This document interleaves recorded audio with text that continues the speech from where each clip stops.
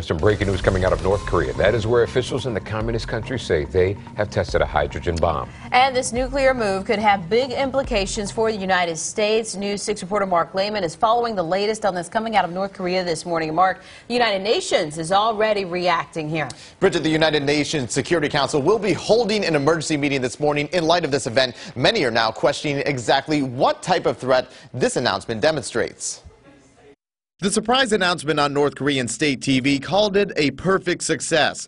In a propaganda filled statement, the news anchor claimed North Korea detonated its first hydrogen bomb, citing Pyongyang's legal right to defend itself against U.S. aggression. The real danger for the United States is whether or not North Korea has intentions to demonstrate their capabilities as far as the Pacific. A 5.1 magnitude earthquake was measured before news of the event surfaced. It was detected near a known North Korean nuclear test site.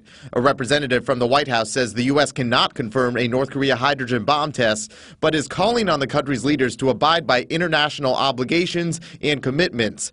In a statement, National Security Council spokesperson Ned Price says the U.S. is monitoring and continuing to assess the situation in close coordination with our regional partners. Pyongyang has carried out three previous nuclear tests dating back to 2006. That led to sanctions against the country for pursuing a nuclear program. If North Korea's claim of a hydrogen bomb is confirmed, it would likely trigger even tougher international sanctions. Bridget? Thanks for that update, Mark.